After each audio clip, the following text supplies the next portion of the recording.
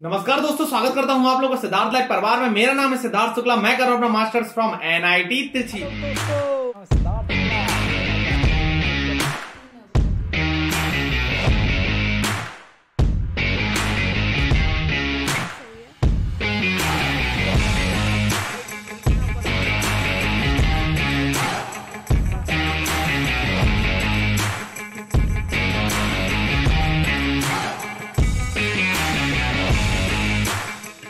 जैसे कि अभी रिसेंटली आईआईटीज ने अपने प्लेसमेंट्स के स्टेट्स की जो न्यूज़ है, उसे रिवील किया था।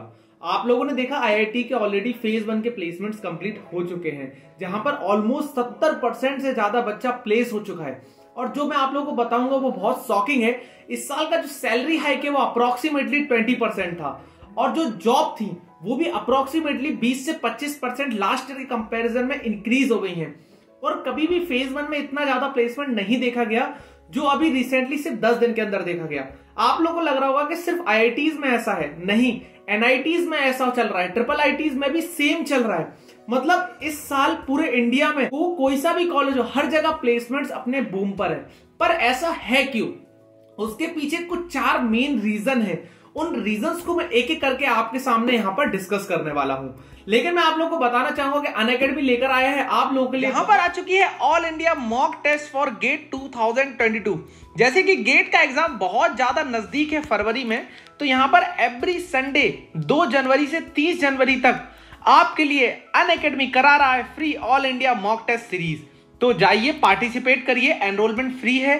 सिर्फ़ आप लोगों को मेरा कोड यूज़ करना है वो कोड डिस्क्रिप्शन में ऑलरेडी गिवन देख सकते हैं न्यू बैचेस यहाँ पर बहुत सारे न्यू बैचेस निकले हैं mechanical civil electrical EC CSIT के लिए। पाँच जनवरी से ये बैचेस स्टार्ट हो रहे हैं। तो आप बैचेस वाइज 2023 और 2024 के लिए गेट के लिए अगर आप प्रिपेयर करने की सोच रहे हैं तो अन के साथ यहाँ पर आप प्रिपेयर कर सकते हैं। साथ साथ आप देख सकते हैं, यहाँ पर अन मैकेनिकल के लिए एसेंट करके एक बैच स्टार्ट कर रहा है बाईलिंगुअल लैंग्वेज में। मैकेनिकल के लिए जहाँ पर इंडिया की टॉप मोस्ट फैकल्टी यहाँ पर पढ़ाने वाली हैं, जैसे GS Gill sir S K Mandal sir Praveen Kulkarni sir और भी बहुत धुआंधार फैकल्टी जिसे सबसे पहले हमारे खुश रहो sir S K Mandal sir metal cutting के साथ स्टार्ट करेंगे छह बजे शाम।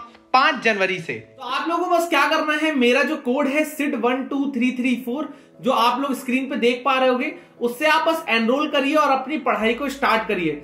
और मैं जो गेट की तैयारी कर रहे बच्चे, उनके लिए बोलना चाहूँगा, आप लोगों को गेट के लिए ऑल द बेस्ट। अच्छे से आप लोग गेट के लिए तैयारी स्टार्ट करिए। एमटेक में अच्छी काउंसलिंग कराने की ज़िम्मेदारी मैं आपकी लेता हूँ। चलिए, हम लोग अपने पहले रीजन से स्टार्ट करते हैं। जैसे कि आप लोगों को बहुत वेल नोन है पहला रीजन वो है कोरोना लॉकडाउन जैसे कि रिसेंटली दो साल 2019 और 2020 में प्लेसमेंट स्टेट्स बहुत ज़्यादा खराब रहे। इवन टॉप जो आईआईटीज थे, वहाँ से टॉप ब्रांचेस से भी बच्चे अनप्लेस जा रहे थे। तो उसका रीजन क्या था? क्योंकि कंपनीज़ के पास जो काम होता है, जो और जो कंपनीज़ होती हैं, जो सर्विस बेस्ड कंपनीज़ हैं, उनके पास जो काम आना चाहिए, वो काम ही नहीं था। अब कंपनीज़ के पास काम नहीं है मैन्युफैक्चरिंग कंपनीज़ के पास काम नहीं है प्रोडक्शन उतना ज़्यादा नहीं है, क्योंकि बाहर डिमांड ज़्यादा नहीं है। तो सप्लाई भी ज़्यादा नहीं है। तो सप्लाई ज़्यादा नहीं तो इनकम नहीं इनकम नहीं तो प्रॉफिट नहीं प्रॉफिट नहीं तो हायरिंग नहीं। सिंपल सी बात होता है। हायरिंग ही नहीं हो रही थी। पिछले साल, पूरा साल हमारा लॉकडाउन में चला गया। तो पिछले साल बहुत ज़्यादा बुरे प्लेसमेंट होने की वजह से जब कंपनीज़ के काम इस साल जब लॉकडाउन खुला तो कंपनीज़ का जो पेंडिंग दो साल का काम था, और कंपनीज़ के पास जो काम था, वो हमें वापस मिलने लगा। उन कंपनीज़ को वापस मिलने लगा। तो जब काम ज़्यादा तो प्रॉफिट ज़्यादा प्रॉफिट ज़्यादा तो इंप्लॉय रिक्वायरमेंट ज़्यादा एम्प्लॉय रिक्वायरमेंट ज़्यादा तो एम्प्लॉय डिमांड ज़्यादा एम्प्लॉय डिमांड ज़्यादा तो सैलरी ज़्यादा सैलरी ज़्यादा जॉब ज़्यादा। इस चक्कर में ये जो लॉकडाउन की वजह से हमें एक बहुत ज़्यादा प्रॉफिट और एक एज मिला उस बच्चों को 2021 के बच्चों को 2021 में जो लोग प्लेसमेंट के लिए अपियर हो रहे हैं और उन्हें ज़्यादा प्लेसमेंट और अच्छे पैकेज वाली अपॉर्चुनिटी मिली। जैसे कि आईआईटीज में ऑलमोस्ट 130 से 140 बच्चे ऐसे थे जिनके जो पैकेजेस थे वो एक करोड़ से ऊपर थे। इवन आईआईटी रुड़की ने इस साल डोमेस्टिक में तेरह बच्चे एक करोड़ के ऊपर ज़्यादा पैकेज के दिए डोमेस्टिक में किसी का इतना बड़ा पैकेज लगना बहुत बड़ी अपॉर्चुनिटी होती है। तो पहला रीजन आपको समझ में आया है दैट इज़ कोरोना लॉकडाउन दूसरा यहाँ पे इंपॉर्टेंट रीजन आता है डिजिटलाइजेशन बूम जिस तरीके से लास्ट को लॉकडाउन में सब कुछ बंद था, सारी कंपनीज़ के एम्प्लॉय वर्क फ्रॉम होम काम कर रहे थे। तो एक डिजिटलाइजेशन बूम आ रहा है आईटी सेक्टर में। तो जो आईटी सेक्टर के पास जो काम था, वो ओवरलोड हो रहा था। तो उन्हें एम्प्लॉय लास्ट ईयर भी आईटी में जो काम था आईटी में जो रिक्वायरमेंट थी, वो लगातार बढ़ रही थी। जो इस साल डबल ट्रिपल तेज़ी से बढ़ रही है। इस साल अगर आप देखेंगे डेटा साइंटिस्ट की बहुत ज़्यादा रिक्वायरमेंट है। हर कंपनी डेटा साइंटिस्ट चाह रही है। इवन जो कोर कंपनीज़ आ रही है, वो अपनी खुद की एक डेटा साइंस की टीम पूरी फॉर्म कर रही है। तो एक डिजिटल बूम एक का, इसके पीछे एक बहुत बड़ा रीजन है। थर्ड यहाँ पे रीजन आता है गवर्नमेंट पॉलिसीज़ गवर्नमेंट इस साल क्या हो रहा है? गवर्नमेंट बहुत ज़्यादा सपोर्ट कर रही है। गवर्नमेंट भी देख रही है कि बहुत ज़्यादा कंपनीज़ को नुकसान हुआ तो वो अपनी पॉलिसीज़ को काफ़ी ज़्यादा रीअरेंज कर रही है। गवर्नमेंट भी चाह रही है कि कंपनीज़ ज़्यादा से ज़्यादा मैन्युफैक्चर करे मैन्युफैक्चरिंग हब बने हमारा इंडिया उसी के लिए क्या ला रही है? गवर्नमेंट एक स्कीम ला रही है that is known as P I L यहाँ पर पी आई एल का मतलब है प्रोडक्शन लिंक इंसेंटिव मतलब आप जितना ज़्यादा प्रोडक्शन करेंगे, उसके बेसिस पे गवर्नमेंट आपको कुछ बढ़िया इंसेंटिव देगी। जो आपको मोटिवेट कर रही है ज़्यादा से ज़्यादा प्रोडक्शन करने के लिए मैन्युफैक्चरिंग इंडिया को हमें क्या करना है? मैन्युफैक्चरिंग हब बनाना है। अभी जो पूरा मैन्युफैक्चरिंग सेक्टर तो पूरा का पूरा बंद पड़ा था। आपने देखा था कितनी ज़्यादा हमारी हालत खराब थी। लोग वापस आ रहे थे अपने घर की तरफ़। बहुत ज़्यादा नौकरी जा रही थी। मेरे भी कुछ दोस्त थे, उनकी भी मैन्युफैक्चरिंग में नौकरी गई। वो लोग आईआईटी से पास आउट होके निकले। आज उनके पास जॉब नहीं है। अब वो लोग फिर दोबारा ट्राई कर रहे हैं। ऑब्वियसली उनके पास टैलेंट है, उन्हें दोबारा मिल जाएगी। लेकिन वो जो जॉब थी, वो चली गई उनकी।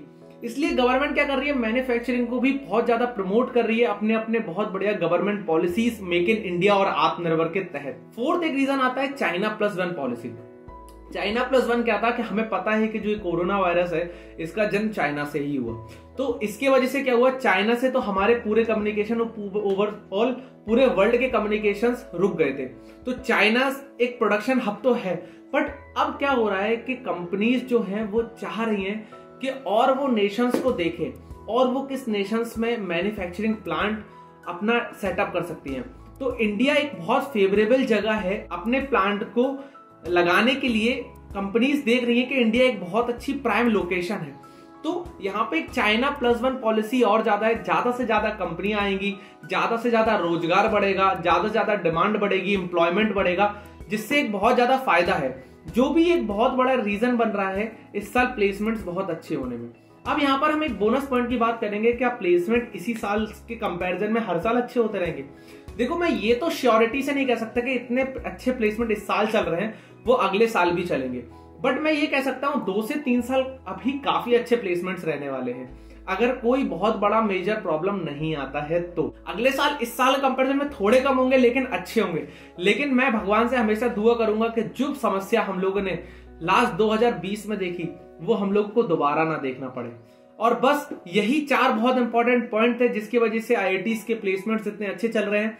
कुछ दिनों बाद जब इनके phase one phase two complete हो जाएँगे एनआईटी के प्लेसमेंट कंप्लीट हो जाएँगे, उसके बाद यहाँ पर जो प्लेसमेंट रिपोर्ट है, उसे पब्लिश कर दिया जाएगा। तब आपको समझ में आएगा कि क्या रियल कितने लोग प्लेस हो रहे हैं, क्या परसेंटेज ऑफ़ पीपल प्लेस हुए, क्या पैकेजेस थे, क्या मीडियम सैलरी थी। बट मैं आपको बस इतना ओवरऑल अंदाज़ा दे सकता हूँ कि इस समय 70 परसेंट से ज़्यादा बच्चे प्लेस हो चुके हैं। ऑलमोस्ट आई आई में 90 परसेंट बच्चा प्लेस हो जाएगा। पैकेजेस भी इस साल काफ़ी ज़्यादा हाइक है सैलरी भी काफ़ी ज़्यादा हाइक है।